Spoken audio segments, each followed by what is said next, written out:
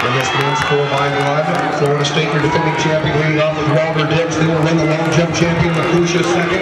Tennessee leads off with Jones. A&M running real well with Adabobi.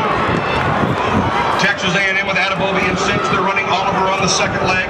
Then it's going to be Stafford to Dykes. LSU with Richard Thompson. Will Gourmet running the third leg. Holliday will anchor. As we come.